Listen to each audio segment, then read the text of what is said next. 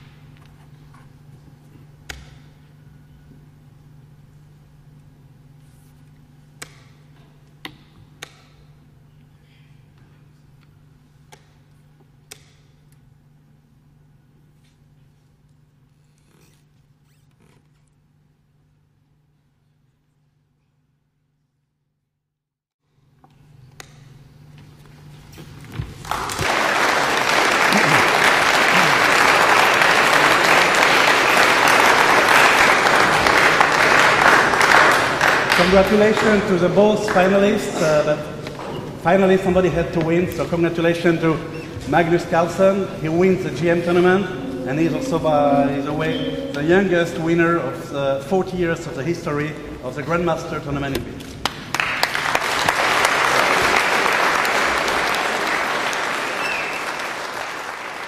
managed to play a very good game today. Um, and now in the tiebreak, I was suffering in many games. It was very tough, but I think I was maybe lucky to draw a black because it's generally cons- considered better to have a black in Armageddon. It was very close, and Onischuk also had a great tournament, and he he had deserved to win too. Um, it's um, yeah, it's very nice to. Uh, well, I don't think too much about it, but it's very nice to win the tournament.